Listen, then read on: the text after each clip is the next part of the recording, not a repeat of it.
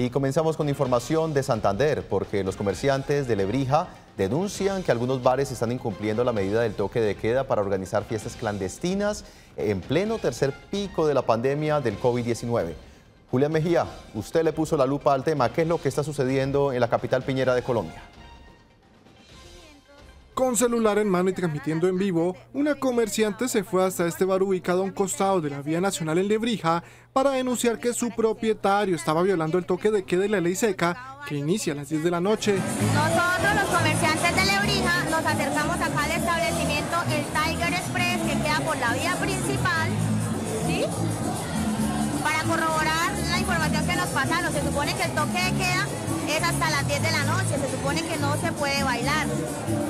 Acá este establecimiento está en funcionamiento, siendo las 10 y 38 de la noche. La molestia por el incumplimiento de la medida llegó hasta otros comerciantes que fueron al bar para reclamarle a su dueño. A, las 9 y 40 cerramos nosotros. Y mire, aquí son las 10, 10 y 40 de la, 40 noche. de la noche. O sea, 40 minutos. Entonces, la ley 40 minutos después 40 minutos después, donde se evidencia que las personas efectivamente están bailando. El dueño del establecimiento comercial, bastante molesto porque le apagaron la fiesta, se fue contra la mujer que grababa la transmisión en vivo. ¿Cómo está? ¿Cómo Muy bien. Hola. ¿Cómo está? Bien, bien. Venga, venga. De parte suya, yo le agradezco algo. No me coja el celular. Usted no tiene por... Suélteme el celular. ¿Qué tal el otro?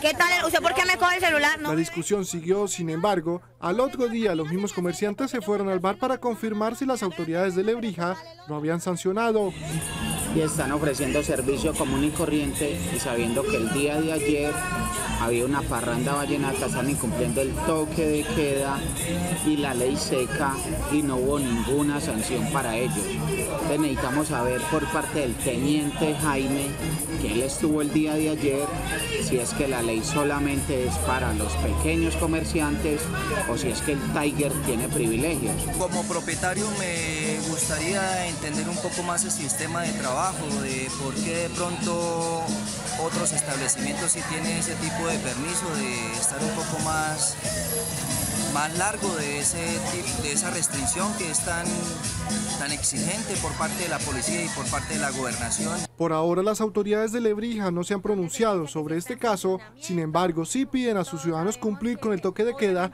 que va desde las 10 de la noche hasta las 5 de la mañana. No, señor, a mí no se me acerque porque yo contra usted no tengo... No, no, no, no, no. me da grande pena, pero ¿qué tal el otro? Bordo, miren.